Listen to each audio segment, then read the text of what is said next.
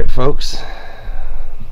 We just spotted some turkeys out in this field. We're we are in central New York, and this is my buddy Steve Scott right here, Jr., and his father Steve Scott Sr. And for the sake of this show, we're going to call this episode. We're going to call Steve Jr. Stevie. do, uh, do your friends normally call you that? Yeah. Yeah. Yeah. Okay. yeah. So uh, Stevie and I had planned to hunt had planned to hunt several years ago together, and, Yes, and did. things didn't work out. So we made a point to get together this year, and and here I am, and we're going to hunt for the next three days together, and try and fill a few tags with you and your dad. Absolutely. And and then after that, Bunch Oh, of birds just came bird. out. Bunch of birds just came out oh, a right whole there. flock of them while we're talking. So um, we're going. to I'll get a little video of these birds, and then we'll discuss, uh, you know, what we're going to do for tomorrow morning.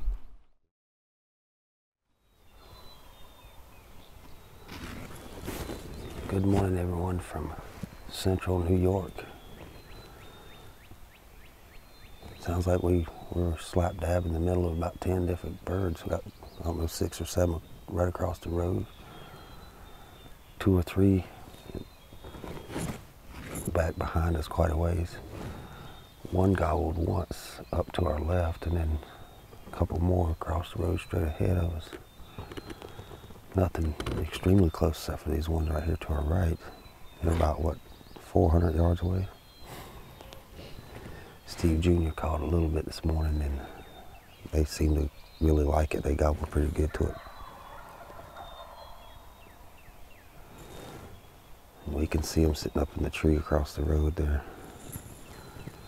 strutting and everything, but won't be too much longer. They'll be pitching down, so hopefully they come this way.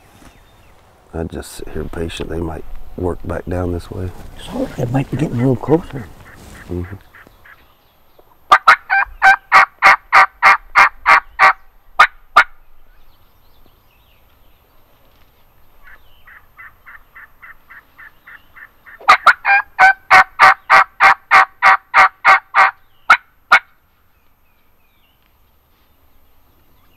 She's taking further that way. Is she? That's what I was afraid of. If you don't mind, I'm gonna roll up on my knees and take a little peek. Go ahead.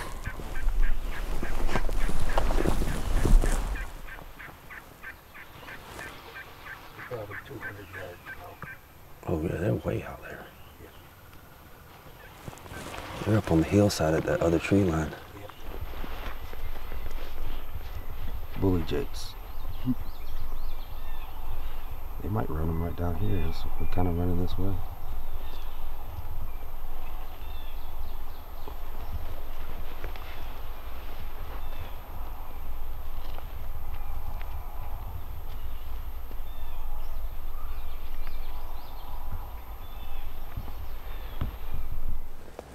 All right. So we uh go ahead.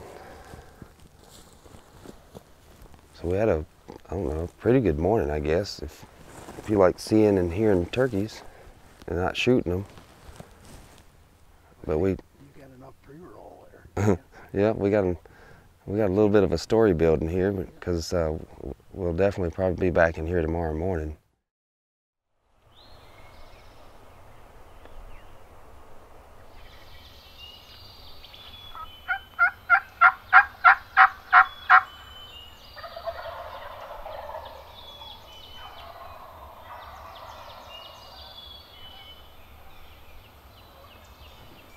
I think least two toms down here, and then two down there. Then there's some jakes mixed in.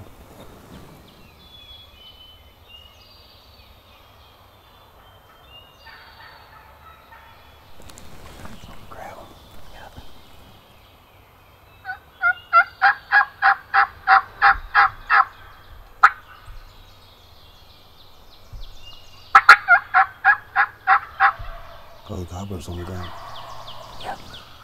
There's a gobbler on the you know, straight where I'm looking. Uh, you know, straight up, straight up to the woods. Straight up to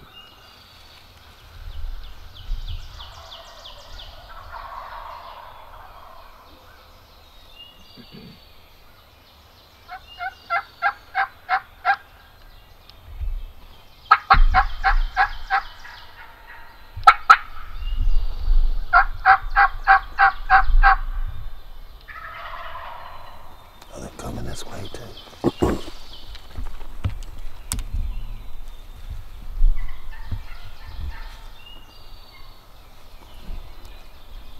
Soon. Yeah,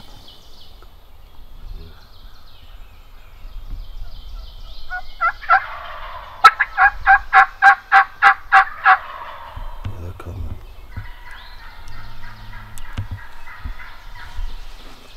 They'll get settled in. They're not far away.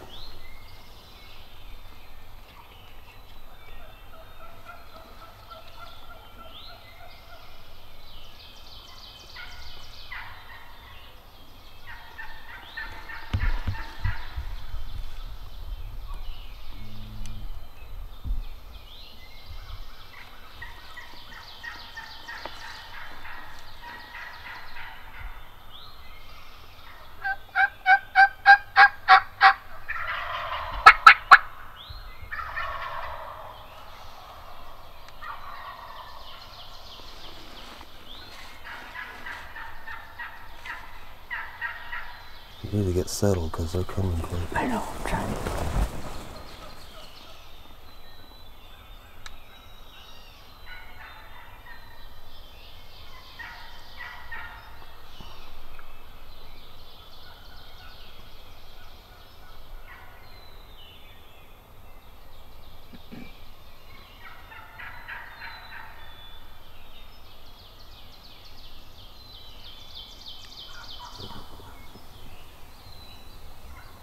They hear them drumming now.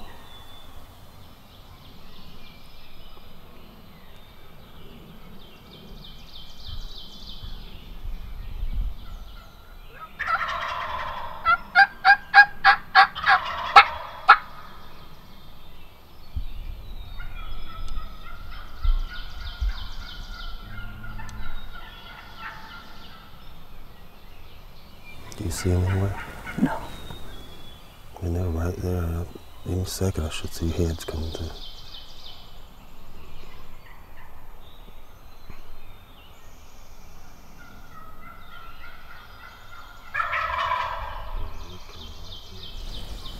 They're right on that roadway, right? Oh, I see them now. They're gonna pop out right in the corner.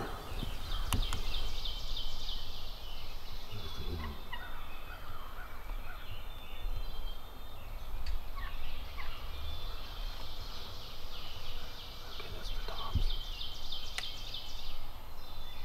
Be still.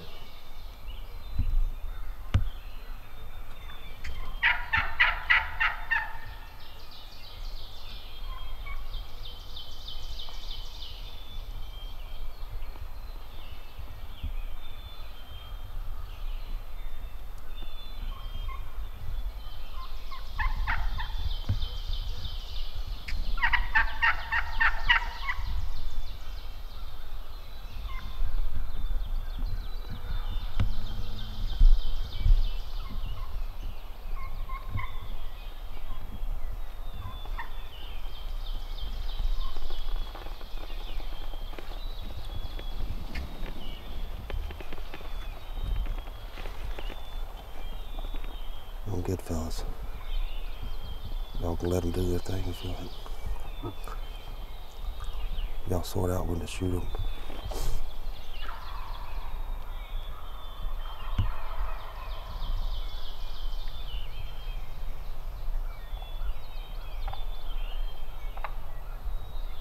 Good.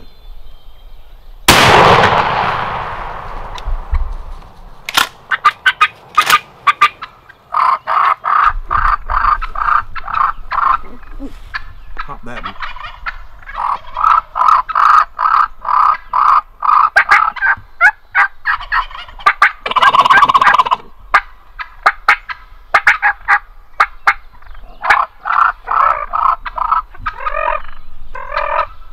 I got a lead on that right there. Or he can shoot.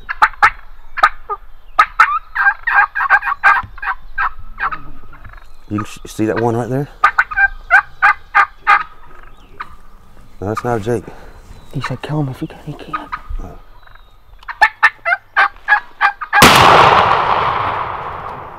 Shot him. Was about to pull the trigger. hey, congratulations. Thank you. Nice job. Now we can tell Jimmer Sorry I missed. it's okay. Nice job, Dad.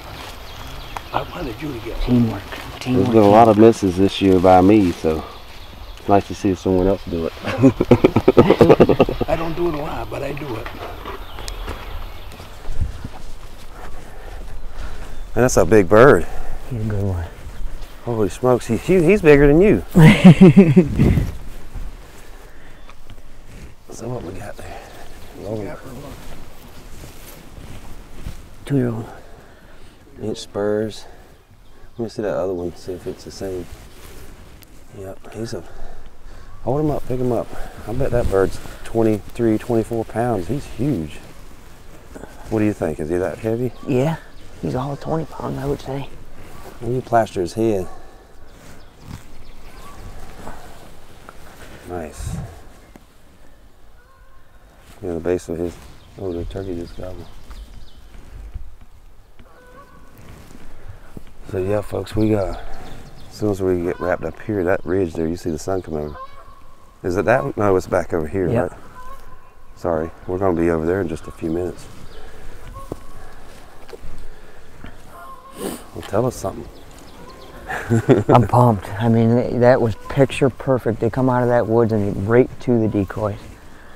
You know, I, I was worried about the lighting because they weren't that far, roosted that far away, and I was worried that they would, because they were gobbling pretty good. I was hoping, and then that one pitched down pretty early. Yeah. I, I don't know what it was, if it was a hen and it went up to the Right. gobblers, Right. but um, I was like, man, I hope they don't come out too early when we don't have enough light. But they waited, stuck in the woods long enough, just long enough that uh, we got some decent lighting for them. So we're gonna tag this bird.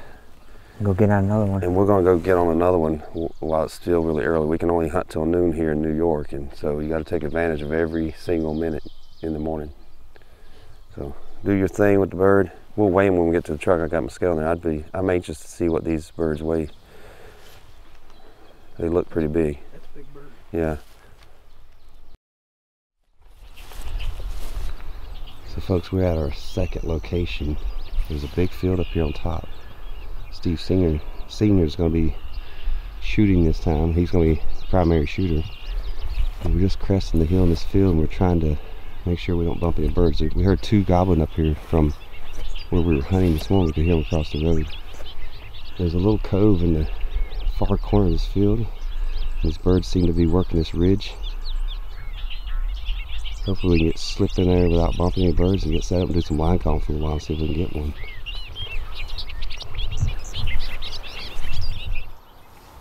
I better get my face mask on here in a moment. Now keep your ears open. I'm gonna let this car go by.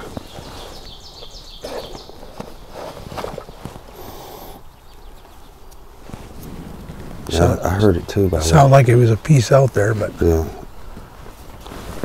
that's a that's a big field out there. What'd you say, Stevie? Mine rumbled a little bit too.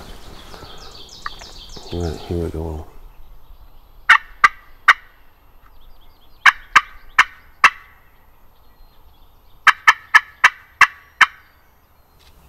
That's behind us. That's behind us. Okay.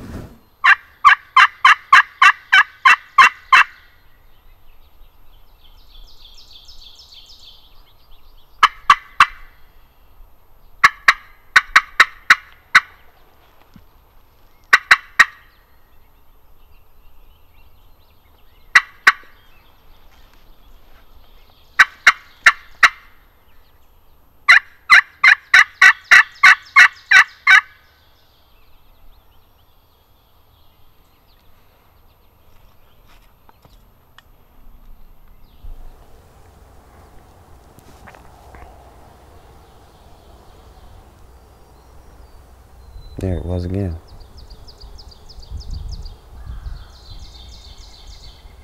I heard it twice. You hear it? Sounds like a hen that's aggravated. She might be coming up the hill behind us.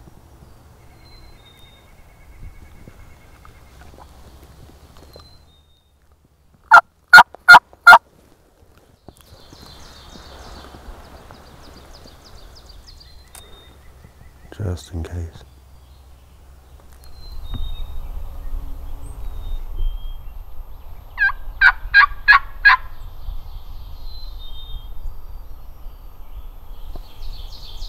I mean, it might not even be a turkey, but it sounds turkey-like.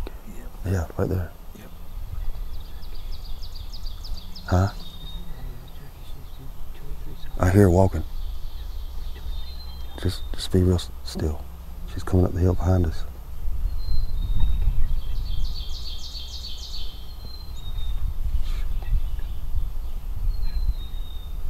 She's directly behind us, right? All right, just sit real still.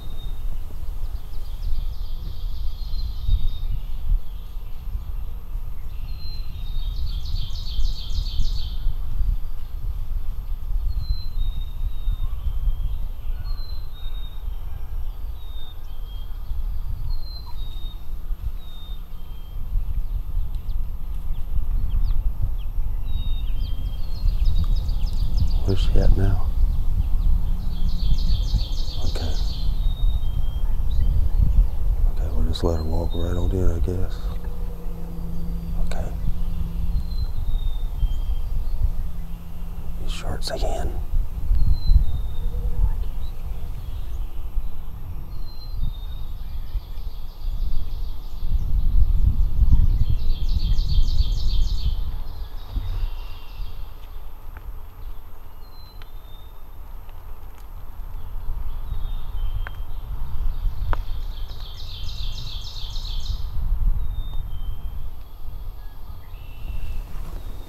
Here they are at the tur- they're at the they're at the decoys.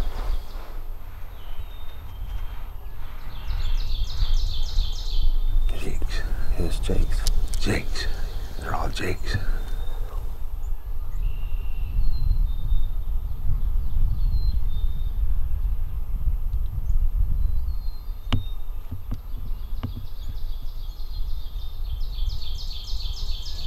Play with them. What'd you say? Play with them. Go ahead.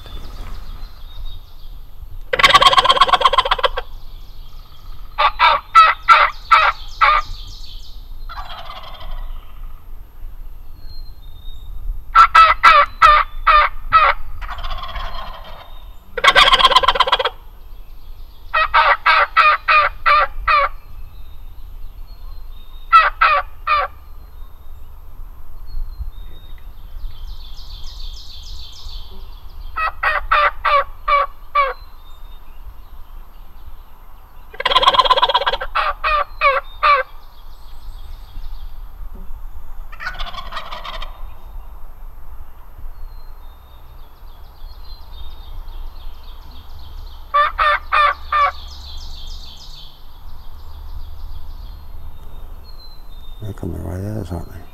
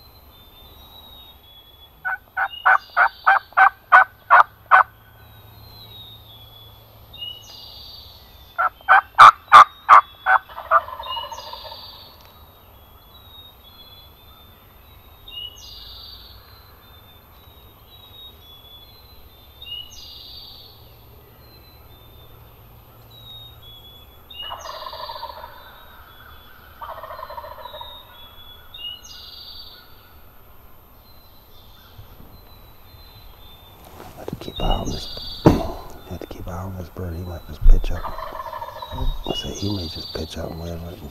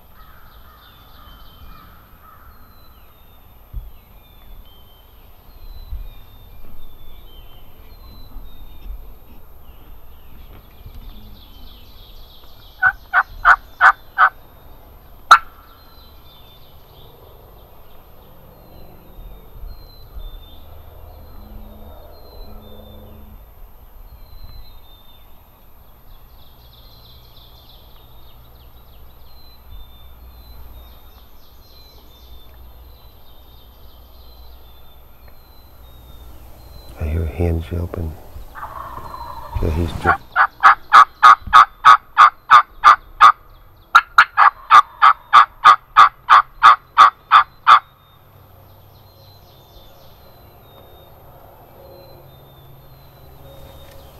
I hear her yelping. He's going straight to her.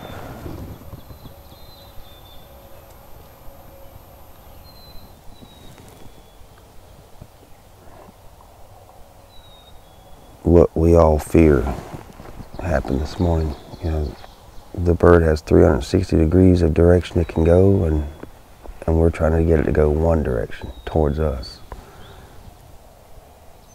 And he took, he went 90 degrees of us and went straight to where we last saw those hens just yesterday evening. But we've got a little strategy. There's a top part of the field there's a little corner there next to there's a hedgerow that goes across the top of the field. And it seems to be a lot of activity there. A favorite place for the birds to cut across and cut up into the woods on the ridge on the other side of this field behind us. So Stevie and I are going to go set up. Not even going to put a decoy out. This is going to be a kind of a knowledge of the patterns we we've seen in the last couple days and hopefully some hens come by and drag up a big old tom right by in front of gun in front of us in gun range.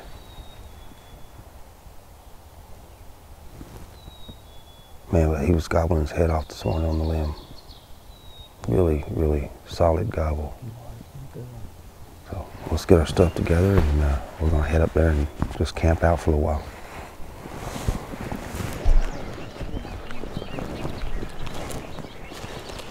Go, go right here. Go through here.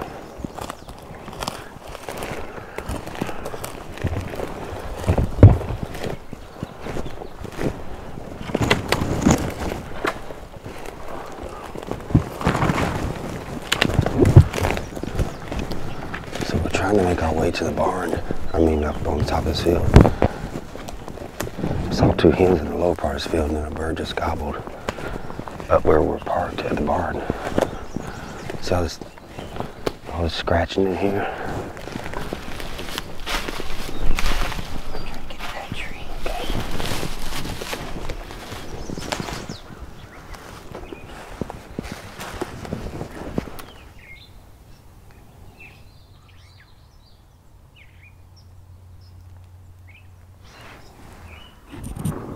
Oh, that's in the field up here.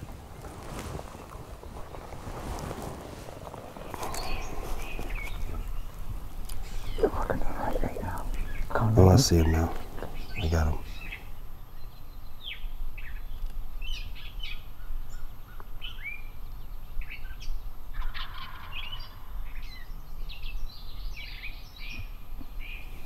The two of them, you said? Yeah, I don't see any heads either.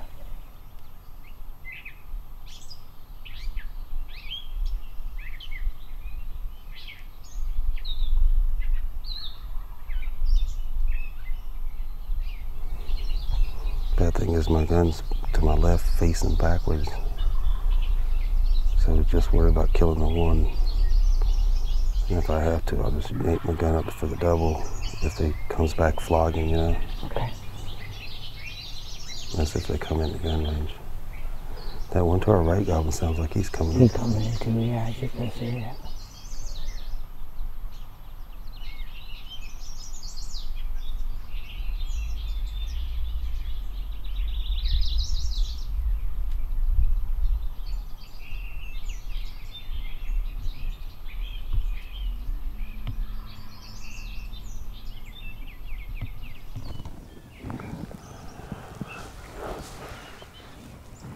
Folks, we that got our hopes up a little bit.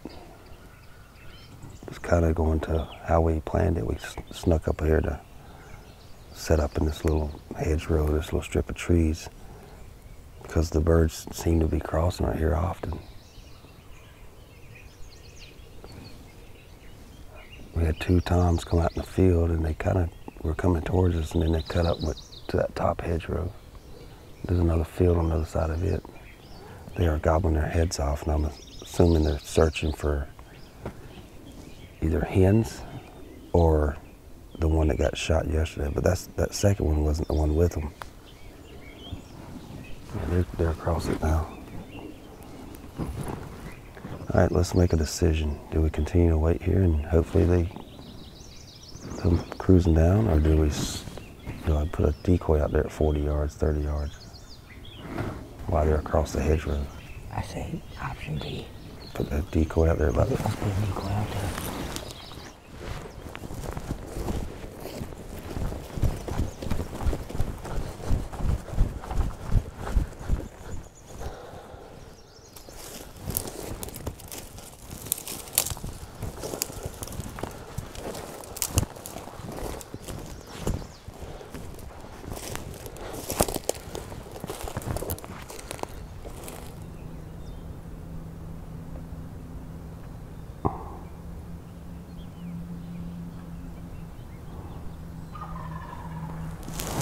Holy crap.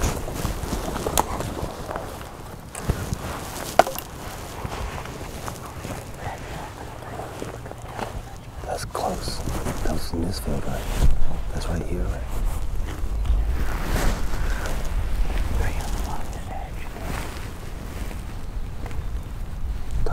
Waking me up out of sleep.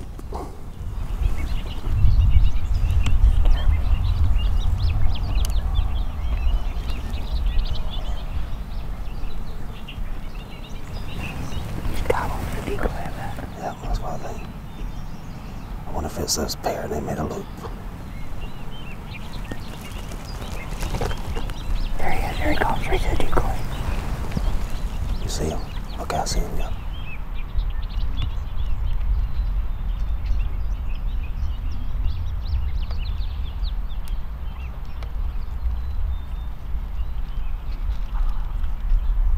I'm on whenever. Let him do his thing.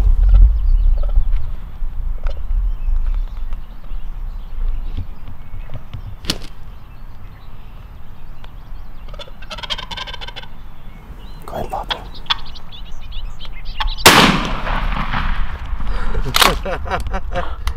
I'm gonna you what. buddy. He gobbled. He had to be like 60 yards away. Yeah, like right on the edge of the. Oh, blood everywhere, man. I'm telling you, those Federals. That's the third degree, right? That's the third degree. Look at his head.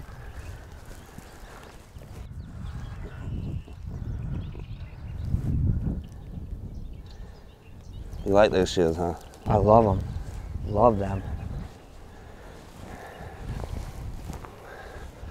What a beauty.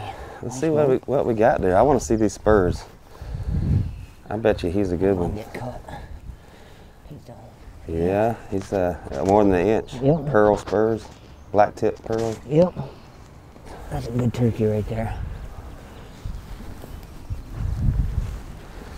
Yeah. Good turkey. Come in and started walloping on the decoy and gobbled. How bad's my ear? Yeah, it's a little blood. Yeah, Okay. yeah, not too bad. Yeah, I come out of the bushes and the briars had turned my head around. Look how white those wattles are. Yeah, I was just looking at that. Well, uh, I guess we can say our plan worked somewhat. so, you want to tell them or? Yeah, we, um, you know, we worked that bird off the roost this morning, and he skirted around us. He had a plan and went to his plan, and we weren't going to change his mind. So we said, we know where these birds like to hang, so let's just sit up there and wait for them. We put a decoy out and just, you know, never made a sound. Sometimes you just got to be patient and relax. Well, let's back up. First, we came up here with no decoy, no calling, and we had two toms come out in the field. That's right. They, so I, I should tell everyone, yesterday we came to this spot, but we sat back way down there, and a, a gobbler came out. He just gobbled and gobbled and gobbled, but ignored our decoys, ignored our calling. He was searching, and our only guess is he was searching for the gobbler you killed yesterday. That Yeah. was his buddy, Yep. and he's been searching for it. Today, what we think was the same gobbler now was a different bird with him, traveling gobbling. They were just searching, but they didn't come over here. But after they left, then we, you and I discussed, and it's like, okay, still no calling, but maybe just put a decoy Put a out decoy here out. so birds can see it. The calling, you know, you, you always risk a calling to a bird, and then he just hangs up way out there. Just let, let's put a decoy out and let them see it as a visual cue. I laid down, was taking a nap because these these long days I, and, and long nights, I don't get a lot of sleep. So I, I told uh, Stevie, I said, you take the first shift, I'm gonna take a nap and gobble gobble gobble right there and woke me up. He Stevie didn't have to wake me up. He he, woke me up. That gobble did. He must have saw that decoy and gobbled to it. Yeah, I wonder where he if he came out from behind us down below, and crested the hill or something. And he was just on a beeline for that decoy and just beat him. Yeah, that's cool. All right, folks, we're gonna get a tag on this bird, get some pictures, and um, and then we're gonna see if I can uh, put me a tag around one of these New York longbeards. And uh, Stevie's gonna do. No, I got to self film. Stevie's got to go to work tomorrow, so I got I got to self film myself. Self film myself, yeah.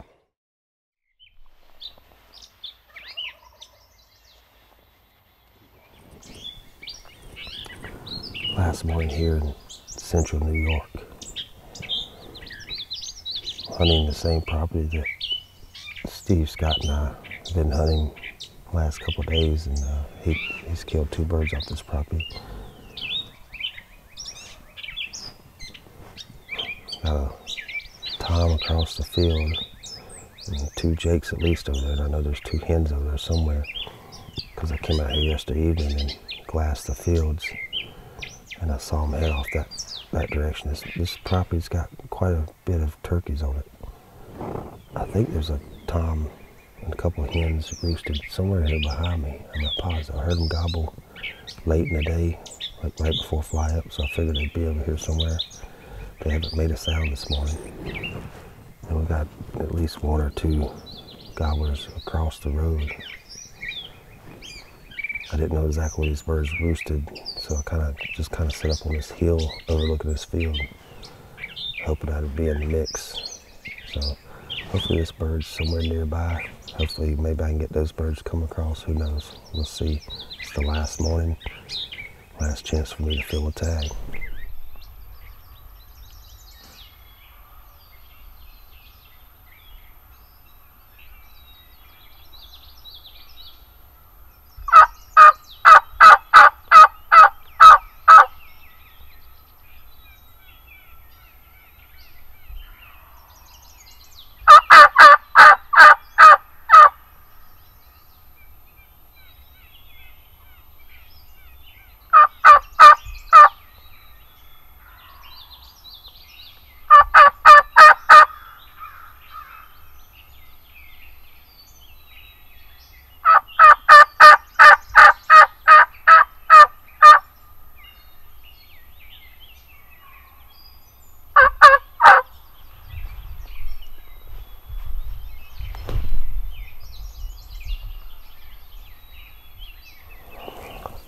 Jake yelp seems to be the ticket. That Tom is with two Jakes. He gobbled at my Jake yelping twice. And the Jakes yelped back also.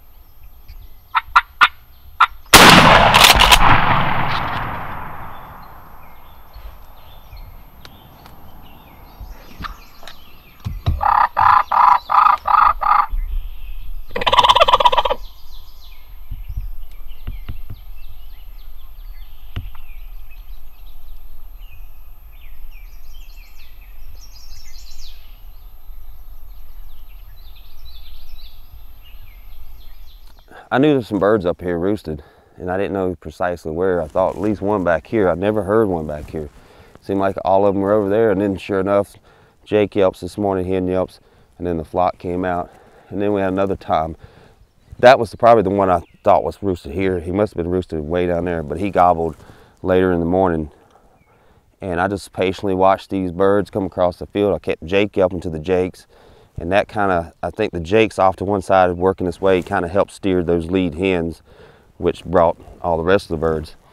And uh, jakes come up and went up here. Uh, that other tom came from my right these two toms here. When they saw I guess he was getting close enough they cut in front of me to go to him. I probably could have shot one then had they had a little more separation but it was just an unsafe shot. Can only shoot one a day in New York, and I wasn't about to take that chance. But I had the hens to my left, so I was hopeful and uh, very hopeful that the birds would come back through, and that's exactly what they did. After, after they ran that tom off, they stopped right here on the knoll for a little bit, and then they came back through. You know, a lot of people probably would have said, you should have shot the strutter, bigger bird. I'm not that picky. Both of them were adult birds. Um, get me a tom here in New York It's a fantastic uh, deal. We've had a fantastic week. Steve, uh, Steve Scott has gotten two birds this week. But anyway, as they passed in front of me, they had enough separation and I took the shot. And so fantastic week here in New York. Time to head home, Wisconsin. We're gonna we're gonna start filling some Wisconsin tags the rest of the season, hopefully.